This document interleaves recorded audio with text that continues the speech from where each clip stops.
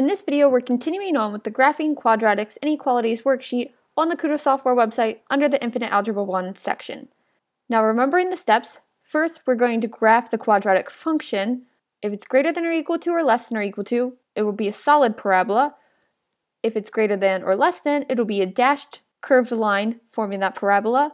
And then after we sketch that, we'll pick a test point to decide which region we're going to shade, either inside of that parabola or outside. So in number 5, remembering ax squared plus bx plus c, our a value is a positive 1 and our b value is a negative 6 because plus a negative 6 is the same as subtracting 6. So now we're going to create our axis of symmetry in order to figure out the first coordinate of our vertex or the x value for our vertex. So x equals the opposite of b over 2 times a. So the opposite of negative 6 divided by 2 times a, which is 2 times 1. So that's equal to the opposite of negative 6 is a positive 6 over 2, which equals 3. So our axis of symmetry is at x equals 3. So our vertex is going to fall somewhere on that vertical line. So making our t-table, we have x and then y is x squared minus 6x plus 12. So starting with x equals 3 so that we can find our vertex, which will be a minimum since our parabola will open up because a is positive, we'll have 3 squared minus 6 times 3 plus 12. 3 squared is 9, minus 6 times 3 is 18, and we're adding 12 to that, which will give us a positive 3. So our vertex occurs at 3, 3. Now let's plug in 4 for x. So we'll have 4 squared minus 6 times 4 plus 12. 4 squared is 16, and we're subtracting 24 and adding 12. That is a positive 4.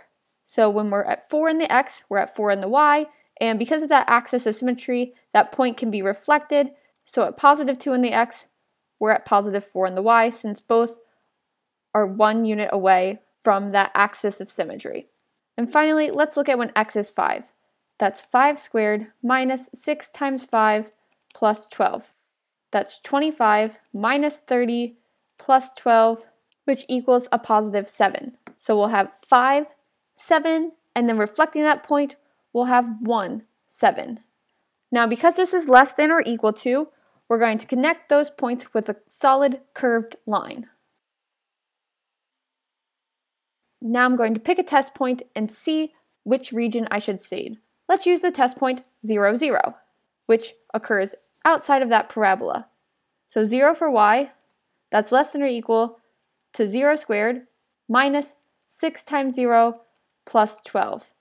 So 0 is less than or equal to 0 squared is 0 minus 6 times 0 is 0 plus 12.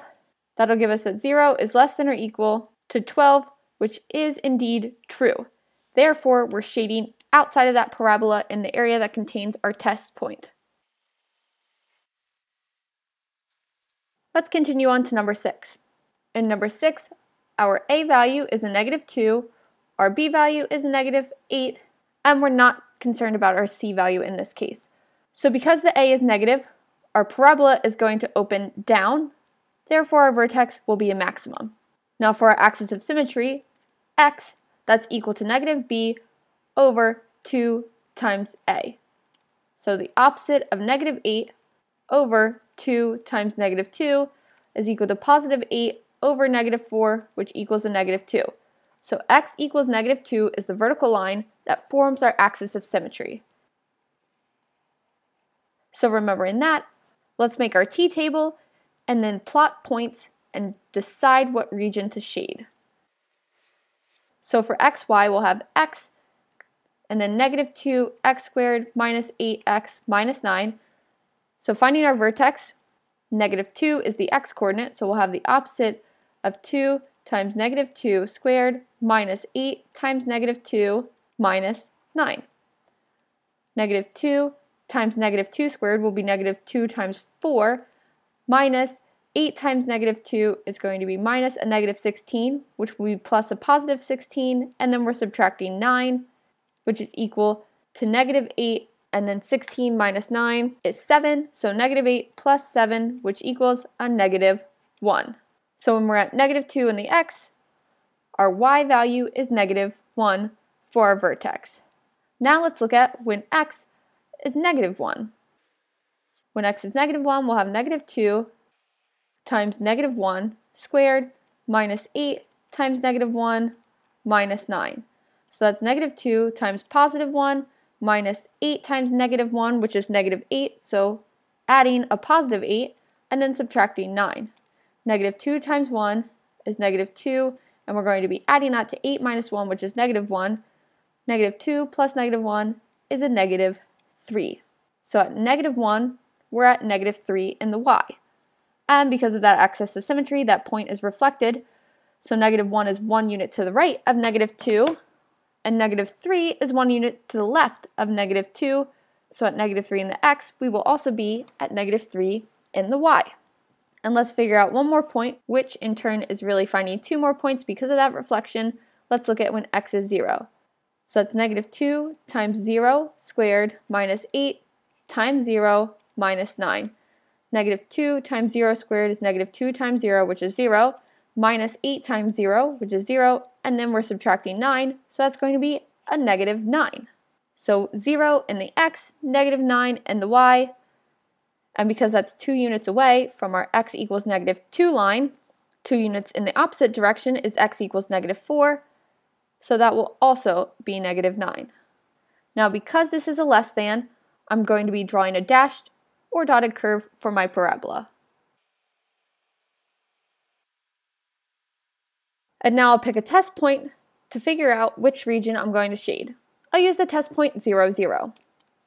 So plugging 0 in for y and 0 in for x, I'll have 0 is less than negative 2 times 0 squared minus 8 times 0 minus 9 which 0 times any number is 0, so I'll have 0 is less than negative 9, which I know is not true. Therefore, I'm going to be shading the region that does not contain that test point, which in this case is inside of the parabola since our test point was outside of the parabola. Moving on to number 7, my A is negative 1 and my B is a negative 6. So my axis of symmetry, x, is going to be at the opposite of negative 6 over 2 times negative 1, which is positive 6 over negative 2, which equals a negative 3. So when x is negative 3, that is my axis of symmetry. Now making my t-table, I'll plug in my x-coordinate of my vertex and solve for my y-coordinate. So plugging in negative 3, I'll have the opposite of negative 3 squared minus 6 times negative 3 minus 12. So that's the opposite of 9, or negative 9, minus 6 times 3 will be plus a positive 18, and then we're subtracting 12. That's equal to a negative 3. So when x is negative 3, y is negative 3. That's my vertex, and since a is negative, my vertex is a maximum because my parabola is opening down. So now let's plug in one point to the right, negative 2. So that's the opposite of negative 2 squared minus 6 times negative 2 minus 12. So that's the opposite of 4 minus 6 times negative 2 is negative 12, so plus 12, and then subtracting 12, that will equal negative 4. So 1 to the right of my axis of symmetry, I'll be at negative 4, and 1 to the left of my axis of symmetry, I'll be at negative 4, in the y as well. So that's negative 4, negative 4, and negative 2, negative 4. And then we'll do negative 1. So the opposite of negative 1 squared minus 6 times negative 1 minus 12 will equal negative 1 plus 6 minus 12, which equals negative 7. So negative 1, negative 7, and negative 5, negative 7. Now I'm going to connect those points with a dashed line since this is less than, not less than or equal to.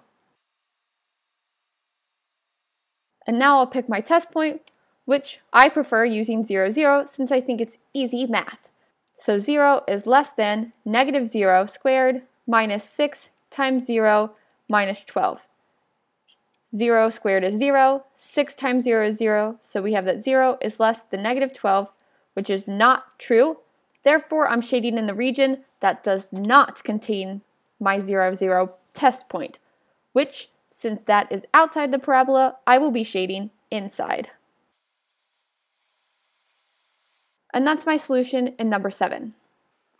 Finally, on to number 8. That's the last problem on this worksheet. So if you found this helpful up to this point, feel free to click that like button. Now in number 8, our a value is a positive 1 and our b value is a negative 6.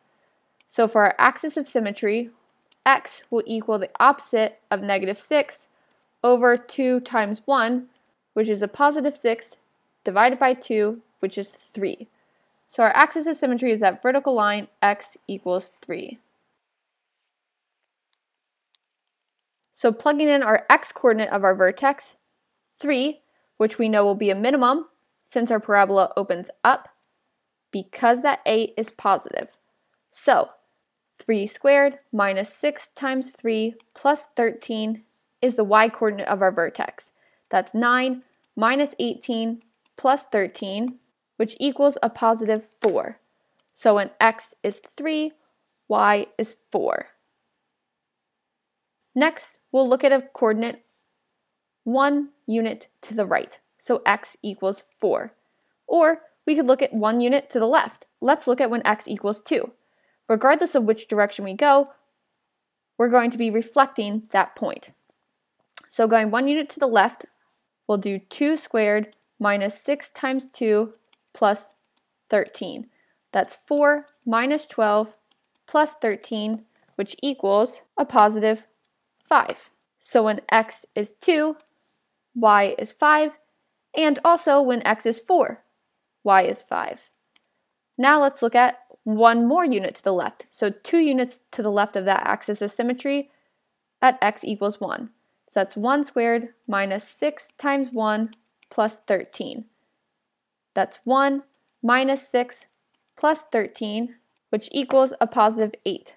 So we're at 1, 8, 2 units to the left of that axis of symmetry, 2 units to the right, we'll be at 5 and 8 again. Now because this is greater than or equal to, it's going to be a solid curve for our parabola. Now let's pick a test point to figure out where we're going to shade. I'm going to pick the point 0, 0. 0 for y is greater than or equal to 0 squared minus 6 times 0 plus 13. So that 0 is greater than or equal to positive 13, which we know is not true. Therefore, we're shading the region that's opposite that test point, which will be inside of our parabola. And with that, we wrap up our graphing quadratic inequalities worksheet. If you have any questions, put them in the comments below. And if you haven't done so already, please like, subscribe, and share. All likes and subscriptions are greatly appreciated, as well as sharing this video. So thank you for doing that.